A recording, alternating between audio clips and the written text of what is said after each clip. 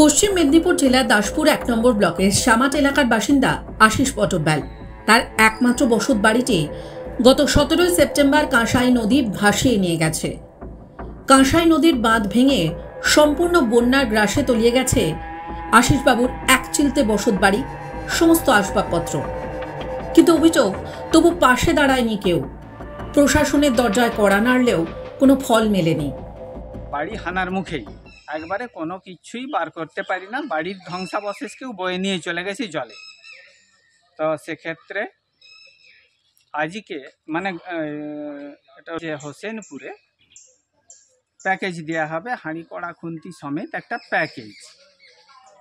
তো এখান থেকে হোসেনপুরের দূরত্ব মোটামুটি পাঁচ ছ কিলোমিটার।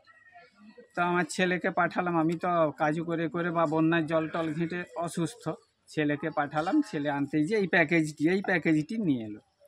আমি সঙ্গে সঙ্গেই পঞ্চায়েতকে ফোন করে জানালাম যে এইটিরই নাম কি প্যাকেজ এতে তো শুধু আছে জলের বোতল দুটি চিঁড়ে দুটি মুড়ি দুটি বাতাসা একটা এর যাই হোক নাস্তা প্যাকেট এই রক এইটি হচ্ছে মোট টোটাল আড়াইশো গ্রাম। পঞ্চায়েত তরফে দিয়েছে?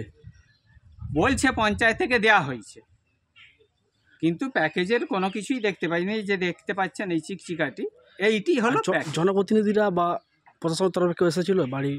দেখুন আমি তো সেখানে যাইনি জনপ্রতিনিধি এখানে আপনার বাড়িতে? আমার বাড়িতে ওই জনপ্রতিনিধি স্বয়ং এসেছিলেন পঞ্চায়েত মহিলা তার স্বামী এসে বলে গেছেন। কি পরিস্থিতি? আপনার বাড়ির তো এই তো দেখা যাচ্ছে। আমার বাড়ি যা দেখছেন বাড়ির ধ্বংসাবশেষকেও তো বয়ে নিয়ে চলে গেছে। এমনকি ইট পাটকেলগুলোও দেখতে পাবেন। ওই যে জমি দেখা যাচ্ছে সেখানে। পরিবারের কজন মোট? পরিবারে আমার চারজন। আমার আমরা স্বামী স্ত্রী আমার ছেলে বউ। কোথায় আছেন তাহলে এখন? এখন আমাদের থাকার বলতে কোনো নির্দিষ্ট স্থান নেই। পাশাপাশি বাড়ি যারা পাড়া প্রতিবেশী যে যখন ডাকে তার বাড়িতে যাই যে যা খেতে দেয় তাই খাই। বাঁধ ভাঙায় কৃষিপ্রধান এলাকায় ক্ষতি হয়েছে বিঘের পর বিঘে ধান সবজি সহ কৃষি জমিরও। স্বল্প জমিতে চাষ করে সংসার চলত। মাথায় হাত পড়েছে বহু জমির মালিকের। ধান সব ডুবে গেছে আর হচ্ছে ভেড়ি চাষ ছিল মূলা চাষ ছিল সেসব সব ডুবে গেছে। কি করে? হ্যাঁ বন্যায়। নষ্ট হয়ে গেছে? হ্যাঁ। চাষবাস থেকে সংসার চলে? হ্যাঁ। কি করবেন তাহলে এখন? এখন আর কি করব আপনারা দেখবেন। এদিকে আশিস পচপেলের বাড়ি সম্পূর্ণ ভেঙে নদীর গ্রাসে চলে যাওয়ায় বর্তমানে পুজোর আগে পাড়া প্রতিবেশীদের বাড়িতেই পরিবারের চার সদস্যকে নিয়ে দিন কাটছে তার। কিন্তু কীভাবে আবার নতুন করে সংসার বাঁধবে তারা? এই চিন্তাতেই ঘুমুড়েছে বটব্যাল পরিবার সহ একাধিক পরিবারের। আমি যে একটু তালপাতার কুঁড়া করেও এই মুহূর্তে থাকব সেই বাস্তুটাকেও এক মানুষ গর্ত করে দিয়েছে যা আপনারা দেখতে পাচ্ছেন।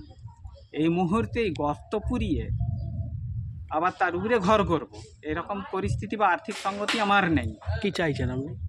আমি চাইছি আমাদের মাননীয় সাংসদ দেববাবু যদি আমার দিকে একটু দেখেন বা দৃষ্টি আকর্ষণ করতে চাই তিনার।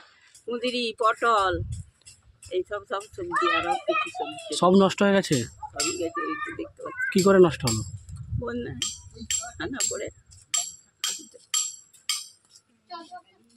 কতটা পরিমাণ জমি ছিল? ককাটা? এইটা ককাটা হবে এটা তো মনে হয় কিছু কম বিঘা খানে হয়েছে। চাষবাস করেই তো সংসার চলে। সংসার চলে। কি- আর বলেনি বাবা। কি করবেন তাহলে এখন? চাষবাস করব? এবার ভগবান যদিও এই বিষয়ে দাসপুর এক নম্বর ব্লকে পঞ্চায়েত সমিতির সভাপতি অবশ্য একেবারেই অন্য কথা বলছেন।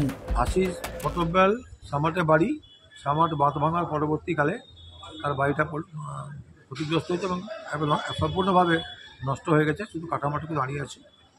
এবং আমরা খবর পাওয়ার সঙ্গে সঙ্গে দাসপুর পঞ্চায়েত সমিতির পক্ষ থেকে তাকে তাকে তার প্রয়োজনীয় ডিএম কিট এবং তার খাদ্যদ্রব্য, চাল বা আমাদের আলু আমরা তার সরবরাহ করেছি।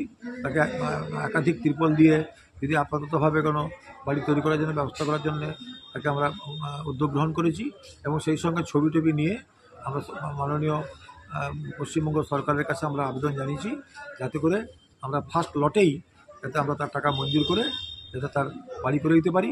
কারণ দাসপুর এক নম্বর ব্লকে একমাত্র একটি বাড়ি আমাদের সম্পূর্ণভাবে ক্ষতিগ্রস্ত হয়েছে। গোটা ব্লকের মধ্যে যে দুটি অঞ্চল আমাদের বন্যা প্লাবিত হয়েছে আমি আশা করছি ওই বাড়ির ব্যাপারে, নতুন বাড়ি নির্মাণের ব্যাপারে সরকার উদ্যোগী, উদ্যোগ গ্রহণ করবে এবং পঞ্চায়েত সমিতির সভাপতি হিসাবে আমি উদ্যোগী হব। টাইমস নাও খবর।